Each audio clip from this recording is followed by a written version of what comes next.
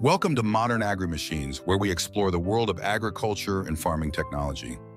Today, we take you on a journey to the tropical plantations of India to witness how farmers harvest oil palm, one of the most important crops in the global vegetable oil industry.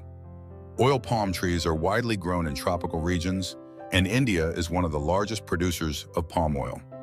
The red fruit of the oil palm contains a significant amount of oil. However, harvesting oil palm is not easy and requires a lot of hard work. In many places, oil palm is still harvested manually. Farmers use long sickles to cut the ripe bunches from high up in the trees.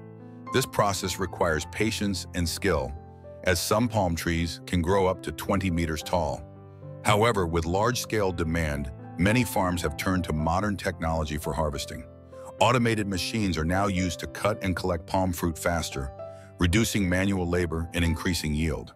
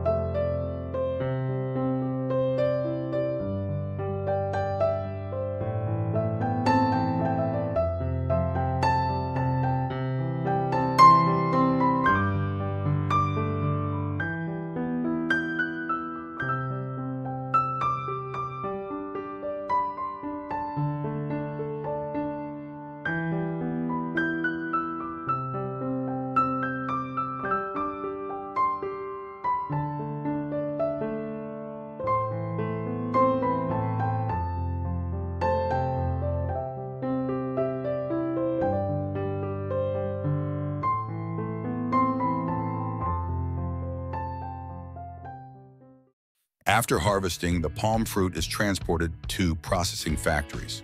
Here, the fruit is cleaned and pressed to extract the oil. Palm oil comes in two forms, oil from the fruit pulp and oil from the kernel, both of which have wide applications in various industries. Palm oil is used in many sectors, from food production to cosmetics and even biofuels. It's one of the most common oils in the world, and each drop we use begins with the hard work of dedicated farmers. With advances in technology, the oil palm industry is moving towards more sustainable methods.